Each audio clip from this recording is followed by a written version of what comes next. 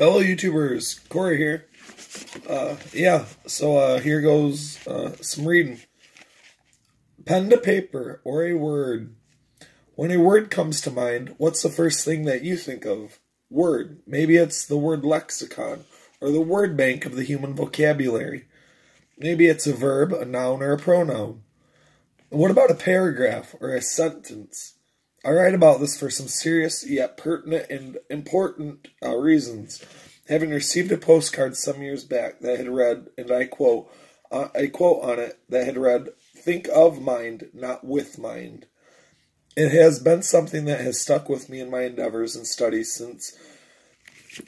I do, however, recognize that on first sight, it may seem like a base concept. Wait, don't think with my mind? Why would anyone do that?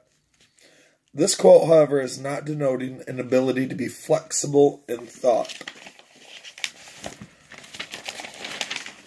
When a person is made up of both masculine and feminine uh, characteristics, it is rather interesting to note that statistically speaking, a man is more likely to become more rigid in thought than a female, this merely being fact. In layman terms, a female is usually able to learn new tricks. I find it important to ask why. I'll take you back to my original question. What comes to mind when the word word is mentioned? In studying, it is important to always remember that well forged neural pathways have been forged before. In a very roundabout way, if you're reading this or listening to this, there's a chance you've already once before uh, through other neural pathways. Yes, you.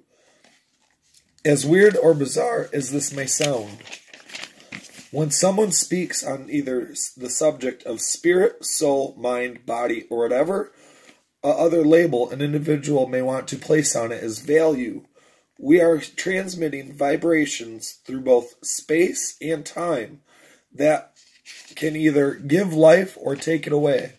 That's where the saying comes from be careful with your words. It originates from.